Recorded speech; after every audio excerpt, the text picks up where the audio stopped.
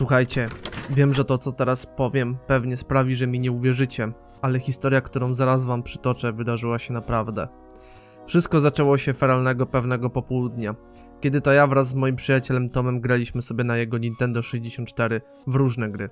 Ale czuliśmy swoisty niedosyt, bo jedyne co ostatnimi czasem graliśmy to The Legend of Zelda, Majora's Mask czy też Wipeouta.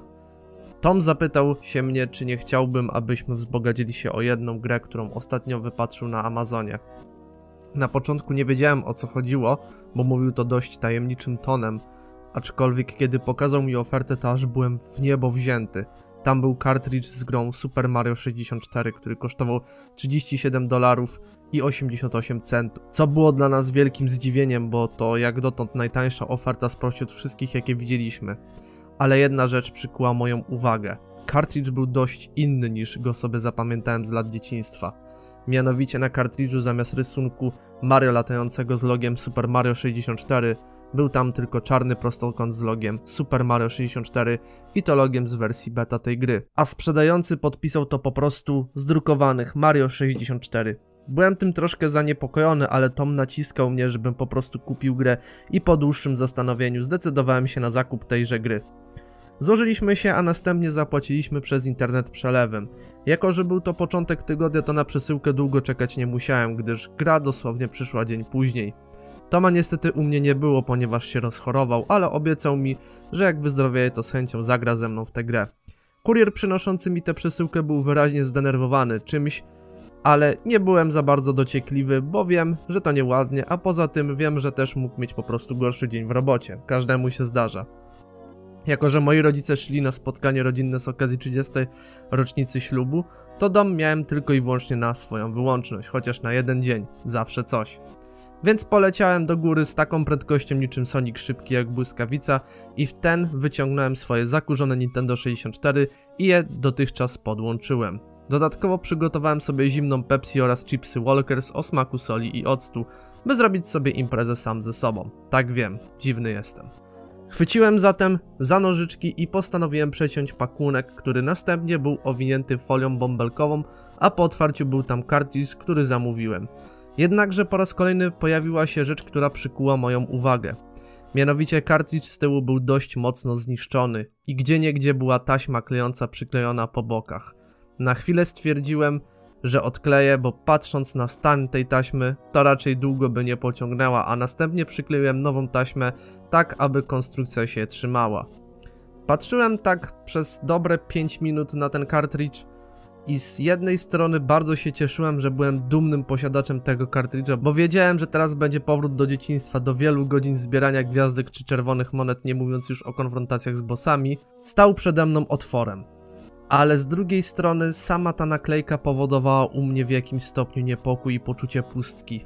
Tak więc bez zbędnego przedłużania włożyłem kartridż do mojego Nintendo 64, zgasiłem światło w pokoju, zasłoniłem rolety mimo że była noc i wcisnąłem przycisk Power, aby zacząć przygodę. Jednak nie byłem przygotowany na koszmar jaki mnie tam czekał. Na początku standardowo pojawiło się logo Nintendo 64, jednakże moja konsola zaczęła wydawać z siebie ogromny hałas, coś jak odpalony traktor. Nie trwało to jakoś długo, bo po chwili konsola się uspokoiła, ale jednak muszę przyznać, że troszkę się wystraszyłem.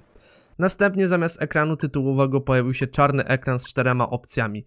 Ale nie były to opcje pokroju nowa gra, wczytaj grę, czy też wyjdź. Tylko tam były po prostu jakieś liczby. Wtedy nie wiedziałem tego, że to były po prostu buildy wcześniejszej bety Super Mario 64. Po dłuższym zastanowieniu stwierdziłem, że wybiorę ostatnią opcję zatytułowaną 0122111996. Po czym nagle z telewizora dobiegł głośny szum i hałas oraz obraz falowania jakby z zepsutej kasety VHS. Całość trwała ułamek sekundy, po czym pojawiłem się w grze. Muszę przyznać, że włosy mi zjeżyły się na głowie, bo wiedziałem, że kartridż jest dość niezadbany, więc takie rzeczy dos dosyć często się zdarzają. Kiedy pojawiłem się w grze, a dokładnie mówiąc przed, przed zamkiem, zauważyłem, że jest to faktycznie beta Super Mario 64. Łatwo to można było rozpoznać po interfejsie, gdzie zdjęcie Mario jest takie samo jak w grze Paper Mario 64, które w tamtych latach nie było jeszcze planowane. Również moją uwagę przykuło to, że miałem już zdobyte 120 gwiazdek, a więc tak naprawdę miałem już całą grę zaliczoną.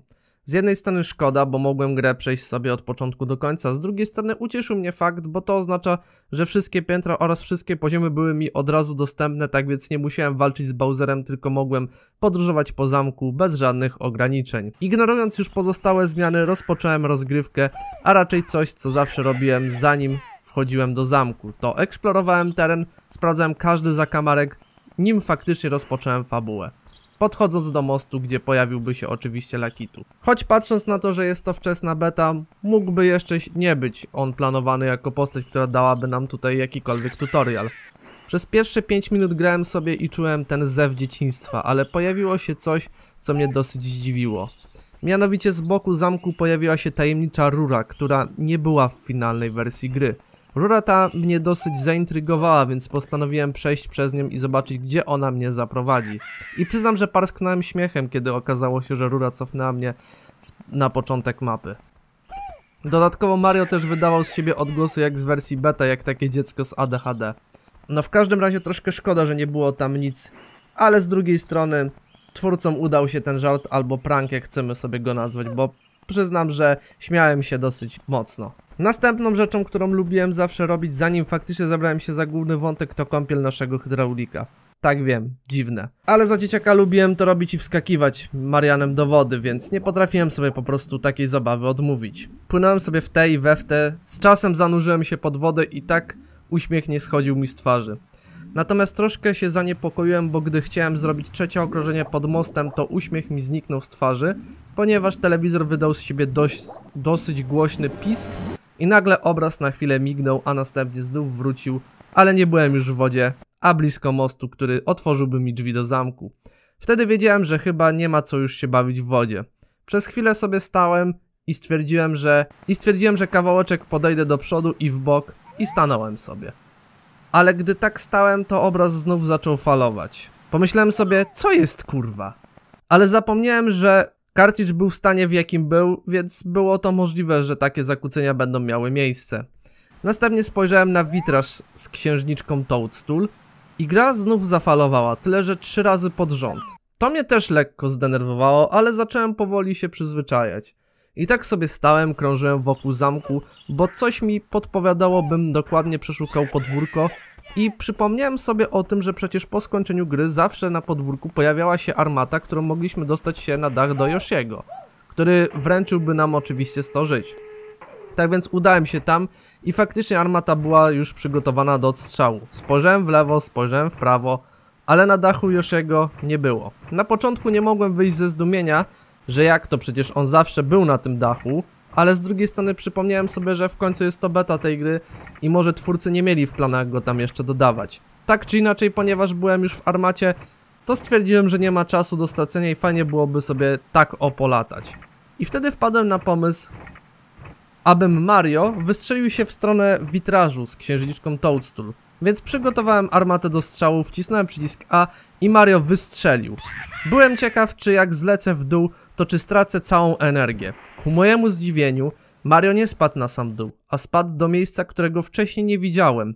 W wersji finalnej gry nie było tej szpary. Tutaj natomiast była. Kiedy przez dłuższy czas stałem, zauważyłem, że ściany jak i podłoga są koloru mocnej czerwieni, a fale, które pojawiały się na telewizorze, dały mi poczucie, jakby pokój był rozgrzany do 350 stopni Fahrenheita.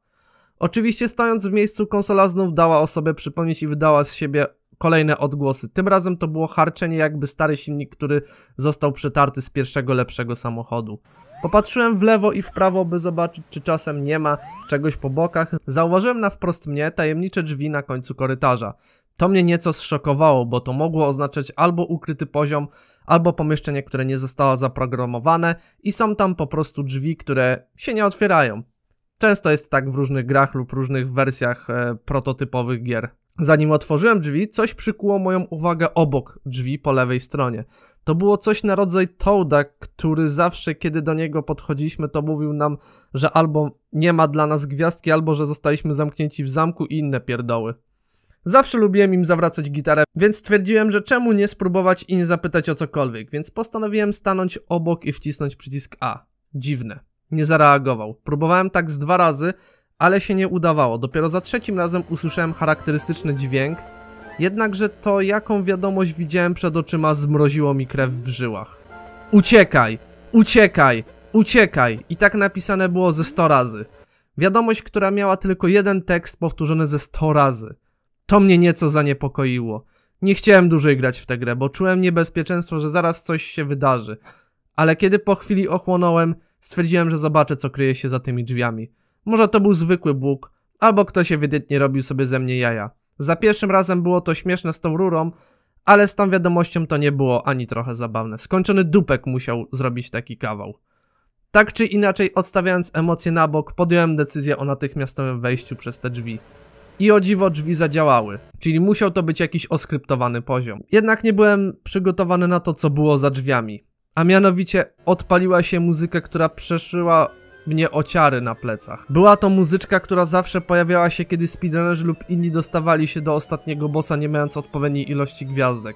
Szybki rytm powodował, że serce zaczęło mi bić coraz szybciej, a muzyka przyspieszała z sekundy na sekundę. Wokół mnie był pokój z czerwieni oraz standardowo obraz falował jakbyśmy przechodzili przez piekielny poziom. Po chwili po lewej i prawej stronie było jakieś przejście, ale wolałem iść przed siebie, gdyż wiedziałem, że na Mariana czyha niebezpieczeństwo, a nie chciałem w głupi sposób tracić życia. Skakałem przed siebie i trzymałem pada najmocniej jak tylko potrafiłem. Kiedy zbliżyłem się do drzwi, gra parę razy mrugnęła mi napisem turn back, czyli zawróć. Coś ewidentnie nie chciało, abym szedł dalej przed siebie.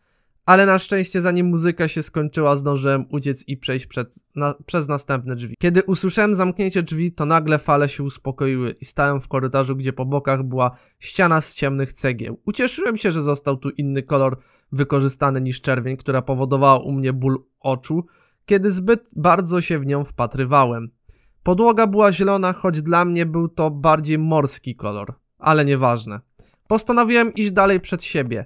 Jednakże coś dziwnego tutaj było, mianowicie brak muzyki. Z jednej strony to dobrze, bo nie wiadomo co durnym kawalarzom z Nintendo przyszłoby do głowy dać za utwór tutaj, a z drugiej strony cisza też powodowała u mnie lekki niepokój. Tak czy siak szedłem przed siebie do momentu, aż nie przeszkodził mi znak. Zanim stały drzwi, ale stwierdziłem, że zobaczę co tym razem gra miała mi do powiedzenia, więc wszedłem z nim w interakcję. Proszę idź szybko korytarzem, nie budź go. Wyjście jest za tobą. Używaj go póki możesz. Co jest kurwa? Powiedziałem znowu. Czy ktoś robi sobie ze mnie jakieś chore żarty? Wiedziałem, że zawsze wchodząc w interakcję z tabliczką, to zawsze gra tłumaczyła ci, co masz robić, ale przysięgam, nigdy nie widziałem tak bardzo odstającej wiadomości w grze od innych. Teraz miałem pewność, że gra nie była od Nintendo, a był to jakiś ROM hack zamieszczony na kartridżu z napisem Mario 64. Po wciśnięciu A, Mario automatycznie się odwrócił co mnie zdziwiło. I w ten zobaczyłem głowę Wario z czarnymi oczami. Oczywiście nie obyło się bez standardowo głośnych zakłóceń, które spowodowały, że się wręcz wystraszyłem i wylałem Pepsi na dywan.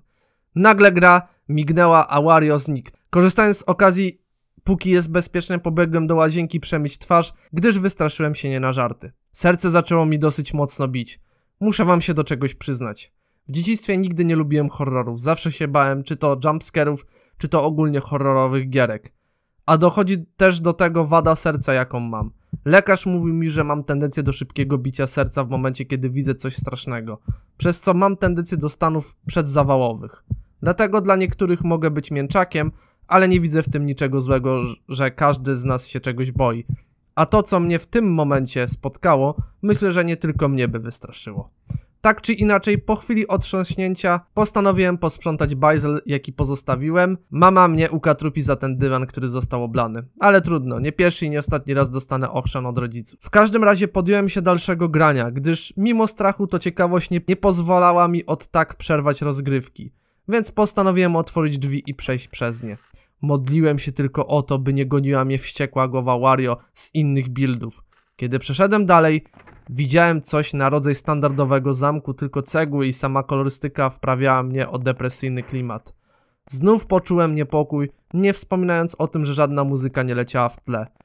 Ta część zamku była pozbawiona jakichkolwiek przejść, po prostu były jedyne drzwi, które mogliśmy dostać się gdziekolwiek. A przecież w oryginalnym zamku mogliśmy iść schodami do góry na ostatnie piętro, czy też po bokach do poziomu podwodnego, czy do pierwszego poziomu w grze, tocząc konfrontację z Bob Oba Ombem, czyli pierwszym bossem.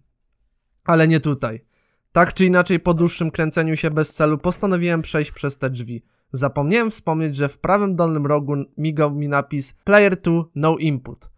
To jest dlatego, że nie miałem podłączonego drugiego kontrolera, gdyż stare buildy Mario 64 miały opcję grania w grę w multi na multiplayerze. Tak czy inaczej przeszedłem do pokoju łudząco podobnego do tego, gdzie mogliśmy dostać się do piwnicy zelanej, gdzie były tam poziomy takie jak Little Lava Land, czy też poziom jaskiniowy. No i standardowa gonitwa za zającem, który dawał nam gwiazdkę.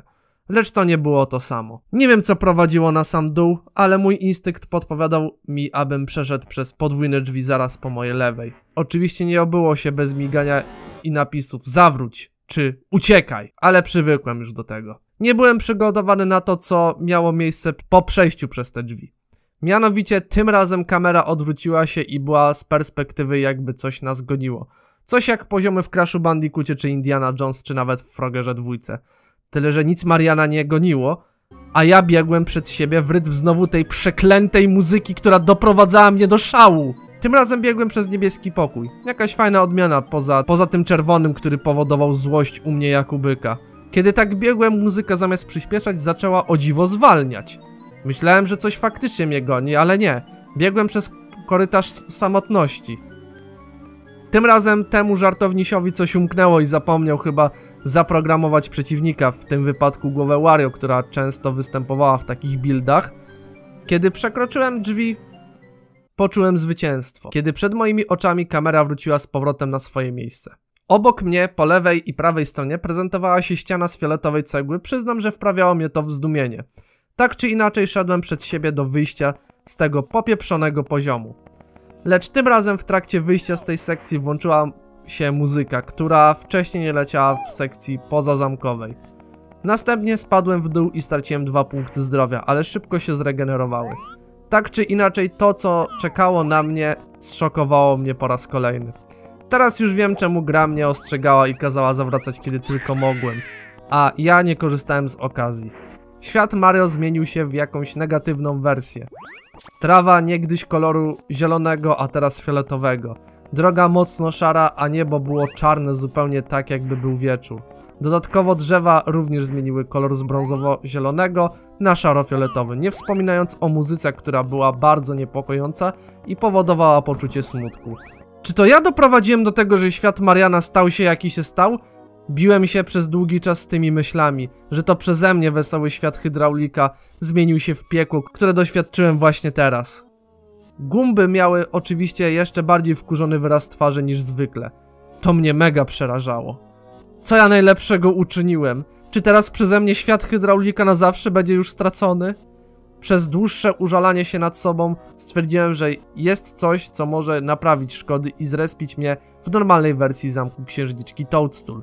Mianowicie woda. Pamiętam jak wtedy gra bugowała mi się co prawda, bo przecież te piski, teleportacje i z powrotem do góry, no wiecie o co chodzi. Jednakże co jeśli wpłynę gdzieś w jakąś szczelinę? Wtedy będę w stanie może naprawić szkody, jakie wyrządziłem w Królestwie Muchomorów. Więc wskoczyłem do wody i płynąłem wzdłuż i wszerz. Oczywiście muzyka musi musiała standardowo zwalniać, przez co brzmiała jeszcze bardziej demonicznie niż wcześniej. Kojarzyłem ją. To była prawdopodobnie muzyka wejścia do zamku, tylko że spowolniona była z jakichś z jakieś 10 razy oraz puszczana od tyłu, a przez to, że jeszcze bardziej leciała powoli, to brzmiała jeszcze straszniej niż wcześniej. Tak czy inaczej, zauważyłem dziurę, przez którą mogłem wpłynąć tam, bo widziałem tam czarny prostokąt, który, który mógł zwiastować jakieś przejście. Kiedy tam dopłynąłem, zauważyłem, że gra mnie wykiwała i tam była po prostu ściana. Teraz to byłem już przerażony, bo nie mogłem wydostać się na ląd i wyjść z wody. No to się doigrałem. Teraz to gra mnie przechytrzyła i będę musiał srogą cenę za to zapłacić. Za moją własną głupotę. Dodatkowo Marian w ogóle nie reagował, bo gra stwierdziła, że odłączy mi mój kontroler mimo że był on podłączony do konsoli. Ale jednak, kiedy chciałem gwałtownie przesunąć Mario, to on nie reagował nawet. Powoli, kiedy zacząłem tracić coraz więcej mocy, zauważyłem, że szum zaczął się pojawiać i być coraz to głośniejszy i głośniejszy, aż konsola znów zaczęła głośniej chodzić. Szum stawał się na maksa głośny, kiedy to Marianowi brakowało jednego prostokącika, aby się utopił i zginął. Oczywiście to doprowadziło mnie do szału, aż zacząłem płakać. Bo to było piekło samo w sobie. Udało się twórcy tego haku. Złamał mnie psychicznie. Oczywiście zaczęły migać mi również e, różne napisy pokroju turn back i tak dalej. Ale co z tego, skoro nie mogłem się ruszyć do cholery? Kiedy to tak kakofonia się skończyła, ostatnim dzwonkiem Mario umarł i się utopił. Usłyszałem śmiech Bowsera i zobaczyłem animację, kiedy to postać umiera. Wtedy na ekranie pojawił mi się error oraz multum dziwnych cyfr i znaków. Wtedy to konsola sama z siebie się wyłączyła. Kiedy odłączyłem ją od zasilania, czułem, że jest mega nagrzana. A sam kartridż, kiedy go wyjąłem, rozpadł się na czynniki pierwsze. Więc o ponownym zagraniu mógłbym sobie co jedynie pomarzyć. A nawet jakbym miał ponownie w to zagrać, to tego bym nie uczynił, gdyż nie pojebało mnie do reszty. No nic, umyłem się i stwierdziłem, że zamiast zrobienia sobie nocki przy ulubionym tytule, to położę się wcześniej spać, jak prawie cywilizowany człowiek. Prawie, bo było grubo po drugiej w nocy. Grałem z jakieś półtorej godziny, jak nie dwie. Tak czy inaczej w nocy spać nie mogłem, gdyż śniło mi się to, co miałem przed oczyma. Jednakże z tą różnicą, że pod koniec zamiast ekranu z errorem, musiałem uciekać przed głową Wario w rytm muzyki, która powodowała u mnie ból głowy, kiedy Wario mnie dopadł, obudziłem się cały spocony i dziękowałem Bogu, że przeżyłem. Następnie zobaczyłem, że jest dopiero czwarta w nocy, a ja raptem przespałem może ledwo z dwie godziny. Nie mogłem się psychicznie pozbierać po tych torturach, jakie mi zaserwowano. Czułem, że musiałem porozmawiać na ten temat z Tomem jak najszybciej. Kiedy udało mi się za dnia z nim spotkać i opowiedzieć, co mi się przydarzyło, to on nie mógł na początku uwierzyć i parsknął śmiechem, że może miałem koszmary w nocy. Aż chciałem mu przyjebać, ale kiedy zobaczył, że nie żartuję i pokazałem mu nagranie, to sam był w szoku i nie wiedział, co ma powiedzieć dokładnie. Jedyne, co nas obu zastanawiało, to kto był odpowiedzialny za tę wersję gry oraz czy jest więcej tych wersji gry. Tego nie wiemy, ale domyślamy się, że nie byliśmy jedyni, którzy w to zagrali.